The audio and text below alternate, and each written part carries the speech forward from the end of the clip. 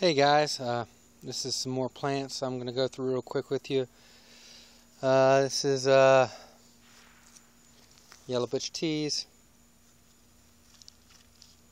I'll try to go through here pretty quick. See you can guys get it. The video won't be too long. Uh, this is the uh, BOG O2 Eyes.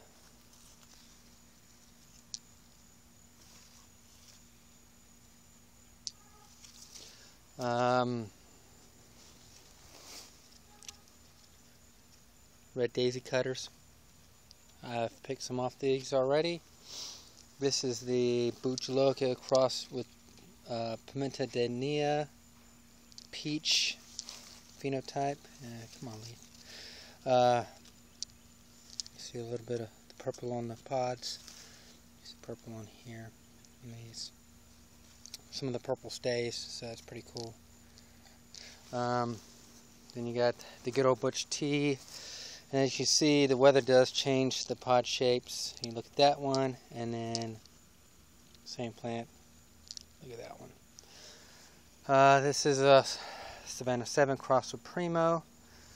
Um, there's one down here. Let's see some more over here, here,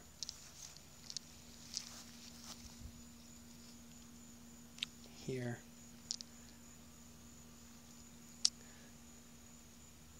Little ones. Um, Jay's Peach. This is a SR7 pod crossed with scorpion. I don't know if I get more pods on here. There's a little one showing up. I don't know if I pulled them all off. Here's just more of a round type. I think I pulled most of them off. There's some little ones. Um, there's the uh, Peppadew from South Africa. Sweet, no heat. Just Tabasco used for just different seasonings. The uh, red bootla from uh, Chad. Solowski. I always mess up the names of everybody and all my friends. I'm sorry, guys. Um, these things are super hot. Um, and this is a hot white scorpion tongue. Uh, got this from my friend Christopher Phillips. I've made a lot of uh, pepper uh, vinegar sauce to pour on some Georgia collard greens. These things are great for that. Um, just go down this row right here. This is uh, uh, Fatale crossed with a Chloe's Dragon. Really cool looking pods. Um, this is a uh, Monster Infinities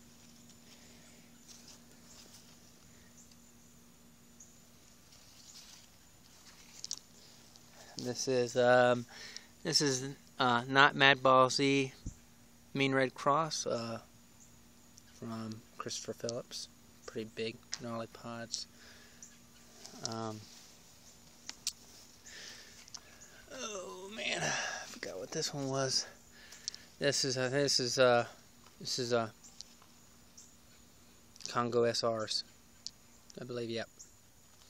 Uh, this is like the third go around on them. Uh, yellow butch teas. I've gotten a couple true phenotypes off here. And other ones have been more elongated. Um, they all taste the same though. Uh, this is uh, Burmese Nagas.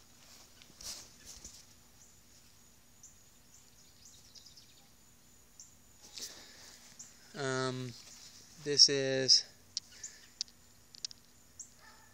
uh, I'm trying to remember now. I'm trying to do all this off off the cuff. Just remember, remember this is a brain strain crossed with a Bhut Jolokia. Uh, and this is uh, one of Grant's varieties from Jungle Rain. Um, Over here, this is uh, this is a Croatian sweet uh, paprika plant. after I've pulled most of the stuff off this.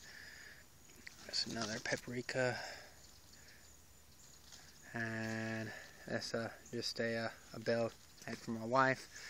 Uh, Jimmy Nardellos uh, from seed stock from my buddy uh, Ed Kohler Naga Canario, my wife's favorite.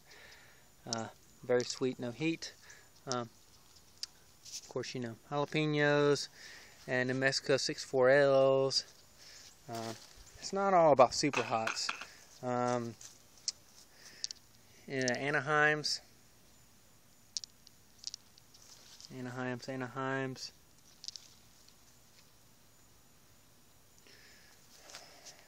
Another one of Grant's. Um, crosses is Naga Morich cross with Tabasco. It's actually one of my favorite plants. Very cool. Nice big plant. Produced a lot of pods. Uh, and Trinidad morugas.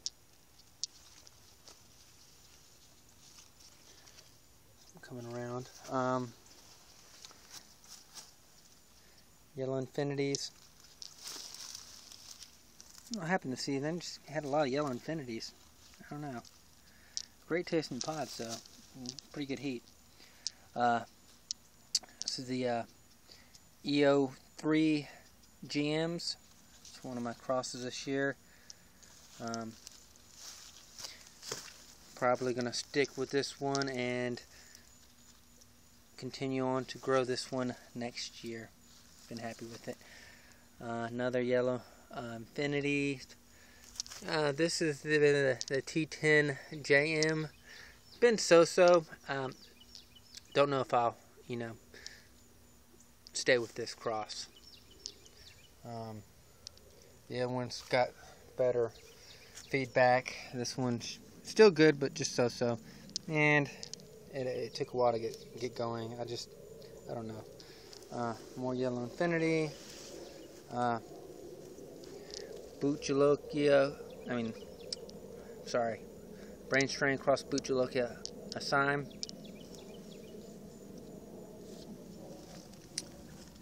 Uh, these are uh, seven pot Jonas cross Butch T. Uh, and as you tell, they're only like F3, F4, so they still throw all kinds of different phenotypes. As you can see. So, you know, I'm just kind of pick and choose the look you're going for and try to grow that next year. Uh, this is a red rocoto that took a beating on this side of the house, maybe too much sun, humidity. The ones up front doing better. Um, Reaper in a bucket. Um, you know, Carolina Reapers in the five gallon buckets. Doing pretty good on this, not like the, the Reapers on the side in ground. Way bigger, way more productive. So if you can guys go in ground, that's the way to do it. Um, yellow uh, seven pot, you just can't go wrong with these varieties. I mean, they're they're awesome, awesome, awesome. Uh, purple boot. Now getting little buds. Uh, the off type bubble gum, as you can see. No big calyx, uh, no bleeding, and more of the moruga shape.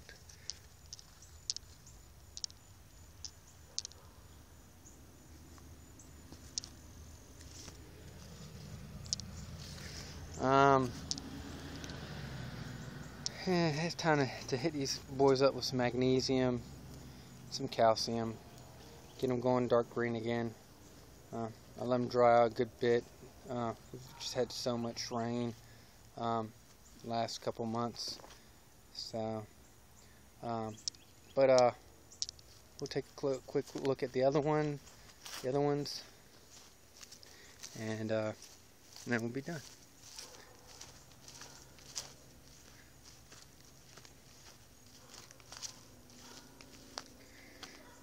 Alright, there's some other pubescent varieties put in the shade. Finally, some of these are starting to stick forever, man. They would fall off. just because of the heat and humidity down here. I finally got one to stick. Look at that. Very happy. So. And the only only pot on there and the only flower. So, I mean, I, I don't know. They just don't like the humidity. Do better in Europe and climates that are not not as hot and humid. So awesome flowers, purple flowers. Most of the pubescens are, are purple. Um, but uh, that's it for these, and uh, I'll see you in the next video. Bye.